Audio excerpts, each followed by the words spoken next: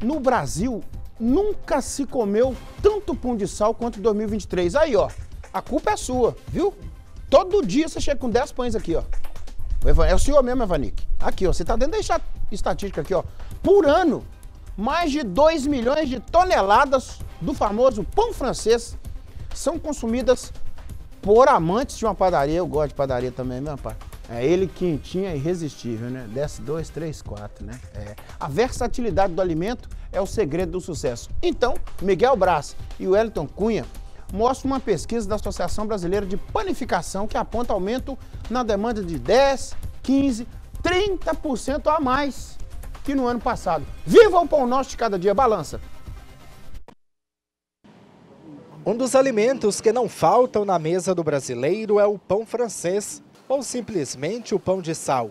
É o produto da panificação mais vendido nos estabelecimentos. Por ano, são consumidos mais de 2 milhões de toneladas de pão de sal no Brasil.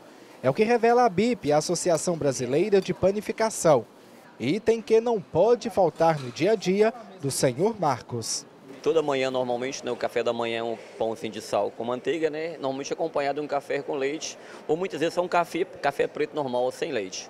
É um alimento que não pode faltar? Não, todos os dias tem que ter, tanto pela manhã como à tarde. Na mesa do brasileiro sempre tem que ter pão de sal. Só nos cinco primeiros meses deste ano, o setor de panificação faturou quase 60 bilhões de reais.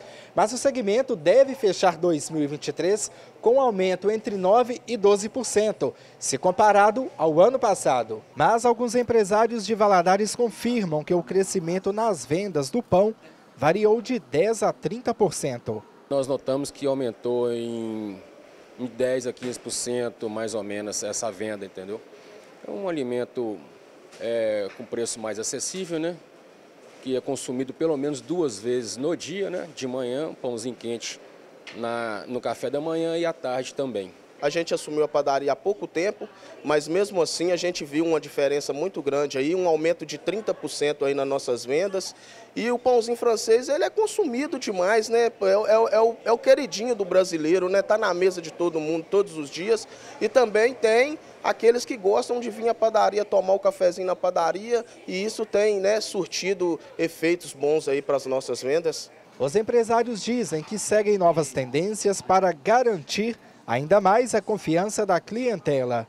Essa massa né, do pãozinho francês, ela, ela nos dá uma, uma, uma variedade né, imensa aí de produto, dá para a gente brincar aí né, com os pãozinhos aí, fazendo pão com grãos, integral, com queijo, baguetinha com gergelim e por aí vai. Tem também é, as massas especiais, né, massas doces, é, o pão integral, né, essa época agora, esse mês, de Natal é, tem os panetones, é, os chocotones, né, que o pessoal já vem já procurando.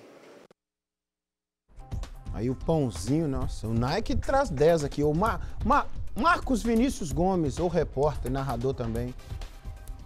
Chegando na padaria, falei, pode pegar aí que é pra minha conta. É 4, 5 pães.